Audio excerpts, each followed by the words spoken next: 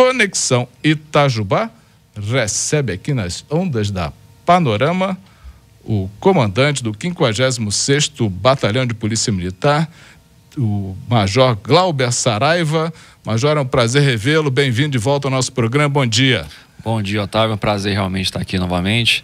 Desejar um bom dia a todos os nossos ouvintes e também quem está nos acompanhando ao vivo também pelas redes sociais. Prazer estar aqui. Prazer é nosso.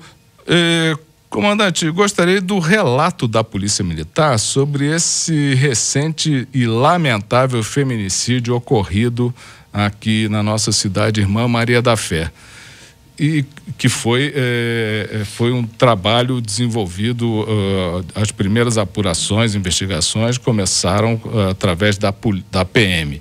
E aí, o que, que aconteceu e o que, que está acontecendo como investigação atualmente? Bem, primeiramente, Otávio, é bom a gente fazer uma contextualização de um problema que a gente identificou desde quando nós chegamos aqui no 56º Batalhão, primeiramente como subcomandante, agora assumindo como na situação de comando da unidade, é a questão da, da violência doméstica aqui na nossa área. A gente tem um, um problema é, social no, no, no, país como todo. Minas Gerais ele se, se desponta né, entre as demais unidades federativas em relação a, a registro de é, delitos relacionados à violência doméstica.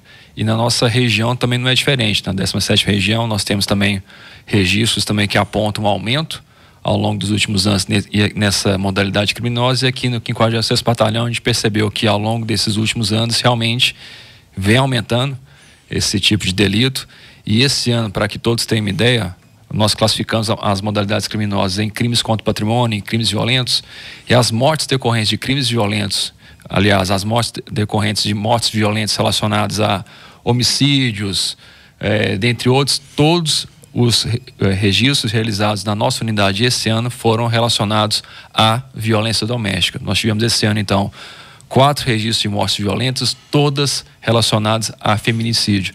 Tivemos aquele início do ano em Pedralva, tivemos o outro, aquele fatídico episódio aqui em Itajubá, no bairro Novo Horizonte, também relacionado à violência doméstica, e agora, culminando esse evento agora no, no domingo, né, em Maria da Fé. Então, é uma preocupação da unidade, do nosso comando em relação à contenção, adotar medidas mitigadoras para tentar evitar esse tipo de situação, ainda mais que esse mês nós estamos aí no mês da campanha nacional do Agosto Lilás Isso. contra aí a, a questão da violência doméstica, campanhas preventivas e realmente para sensibilizar a população dessa demanda que nós temos que conversar mais em relação a esse assunto. Violência doméstica é um assunto que realmente está aí impactando e incomodando né, a nossa sociedade e o Estado de Minas Gerais principalmente. Eu estou falando isso por tudo porque já ao longo de já mais ou menos 10 anos, já verificando esse aumento nesse tipo de delito no estado de Minas Gerais, foi implantado patrulhas específicas para essa finalidade, que é as patrulhas de prevenção à violência doméstica, PPVD,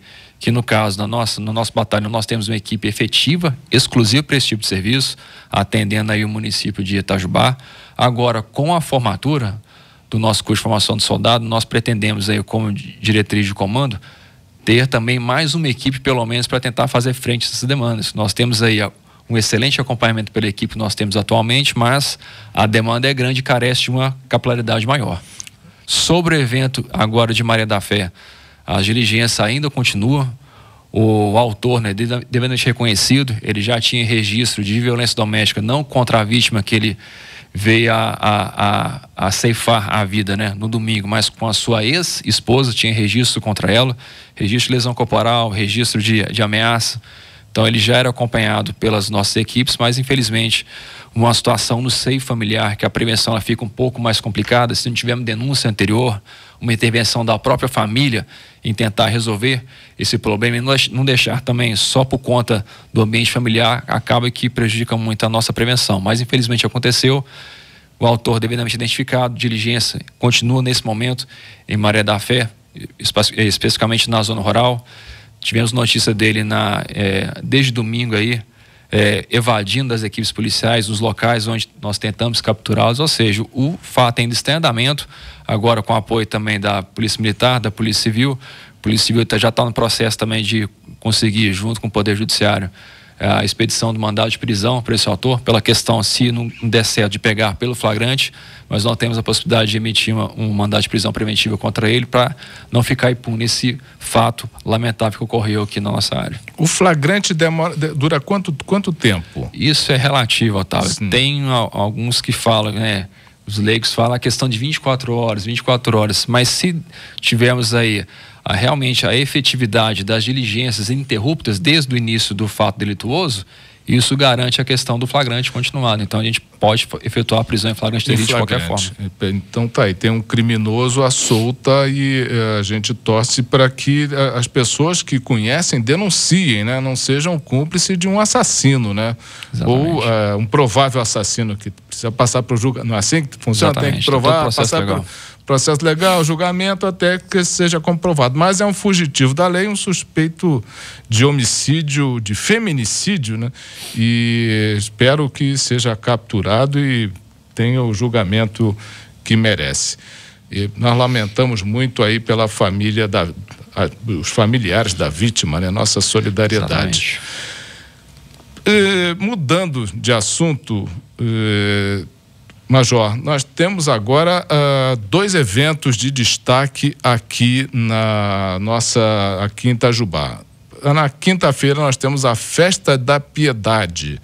Então eu pergunto ao Major se tem ideia de quantas pessoas tem, estão sendo aguardadas em número assim, Exatamente. de, de grandeza. É, nós temos aí já o, o, o, levantamento do que nós verificamos nos anos anteriores, a nossa expectativa inicial pelo nosso planejamento é um público estimado em cerca de 10 mil pessoas. 10 mil pessoas. Nós esperamos lá. Em relação à nossa preparação, já fizemos reuniões preparatórias em relação a, essa, a esse evento. Todo o nosso aparato já está devidamente planejado para poder apoiar né, ao longo de todo o dia, desde as primeiras horas, na parte da manhã até o, o final da tarde, com policiamento efetivo no bairro Piedade, também nos acessos lá pela, pela rodovia, inclusive com apoio de equipe da Polícia Militar Rodoviária que vai se fazer presente. Nós estaremos aí com um evento com, com um oficial nosso da companhia no comando direto ali da, da festividade, que a gente sabe que atrai muito público, já é histórico, essa, esse evento no bairro Piedade. Então a gente está preparado para qualquer demanda, principalmente em relação a, a furto de veículos. É, é, a gente sabe que vai ter muito fluxo de valores também, então a gente tem que estar atento em relação a uma presença efetiva, visível de todo o aparato policial para esse dia. É, Major, então eu vou algumas questões mais específicas. Se o senhor tem informação sobre venda de bebida durante a festa, porque durante um bom tempo, não sei esse ano como vai ser, a venda de bebida alcoólica era proibida nos bares e, é, que haviam ali é, na Piedade. Uhum. Esse, e, e também é, venda em vasilhames de vidro, copos de vidro, garrafas de vidro. Como é que esse ano há essa prevenção também?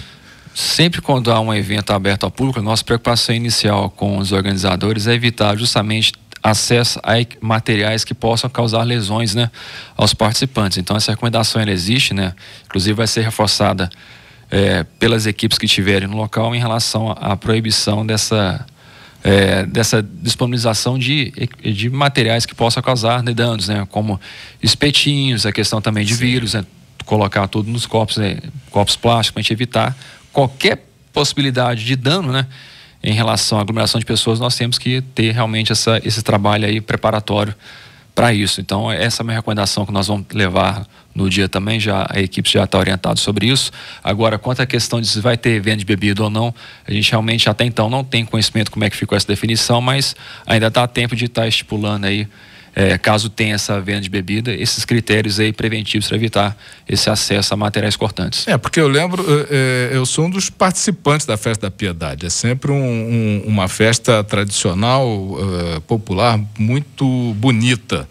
E eu lembro que o pessoal tinha, a Polícia Militar tinha feito essa restrição à venda de bebida alcoólica no, nos bares até um determinado horário, mas o pessoal ia com isopor, né, para vender com corote e vender é, cerveja em lata no meio da rua lá. Então ficava aquela aglomeração. É, então vamos ficar atento a essa, essa questão. E tem um horário, então. A, o policiamento vai de que horas a que horas?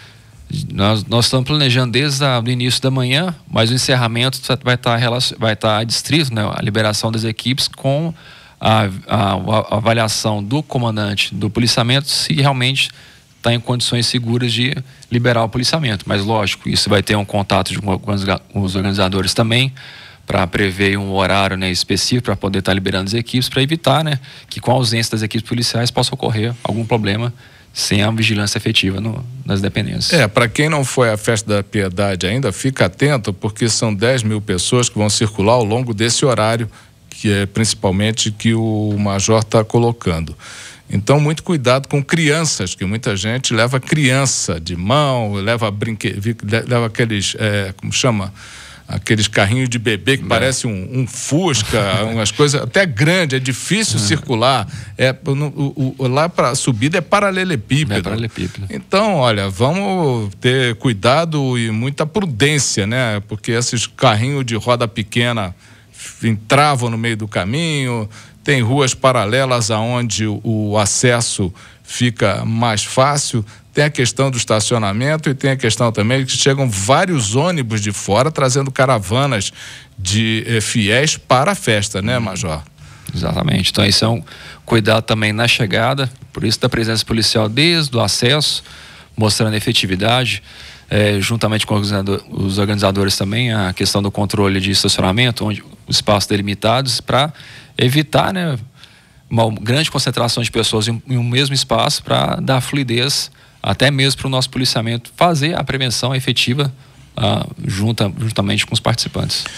E, eh, Major, temos também mais uma festa aí nesse final de semana, que é o Aitataca, que daqui a, pouquinho, daqui a pouco nós vamos conversar até com o organizador, mas já tem um esquema de, de policiamento também previsto. Ah, já tem, a gente já sabe que todo ano nós temos esse, esse evento, o evento já, já sedimentado aqui em Itajubá, então a gente já tem essa, esse planejamento para dar o apoio necessário, né?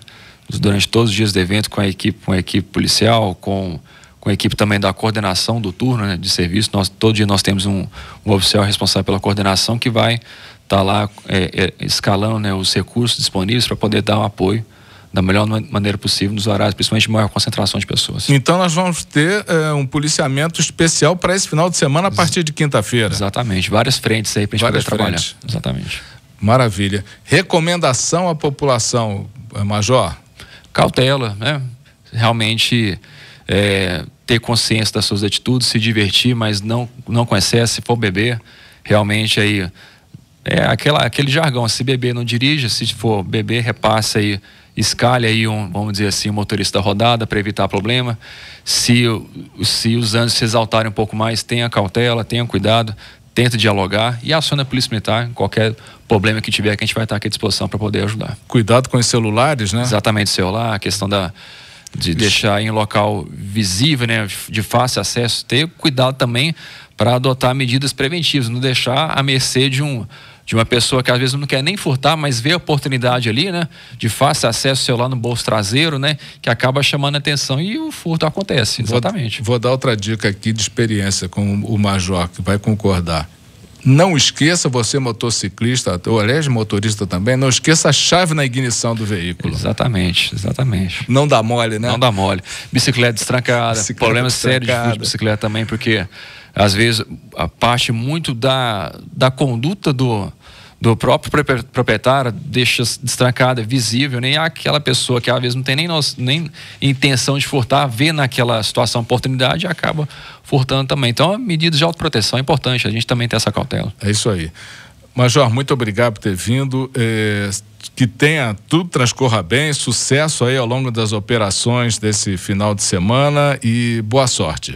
Muito obrigado, agradeço mais uma vez a possibilidade de estar falando aqui com a, com a nossa população e conte com a sua Polícia Militar. Pode ter certeza que a gente vai estar atendendo aí todas as demandas, fazendo frente nesses eventos, para realmente mostrar a nossa missão, estar presente da população, estar aí em condições de servir, proteger e qualquer, qualquer demanda aí, 190 à disposição, denúncia também caso a população veja e queira também observar o sigilo, nós temos aí 181 o disco denúncia unificado, eu sempre gosto de falar desse canal de comunicação, que ele é muito importante também, uma denúncia anônima mais qualificada, com detalhes que ajuda sobremaneira a Polícia Militar a dar uma resposta aí efetiva em crimes que vêm acontecendo em situações pontuais que nós temos que agir. É, Major, muito obrigado. Conversamos aqui com o Major Glauber Saraiva, que responde pelo comando do 56º Batalhão de Polícia Militar, que veio aqui acompanhado do Cabo Vitor, participando do nosso Conexão Policial Especial nas ondas da Panorama.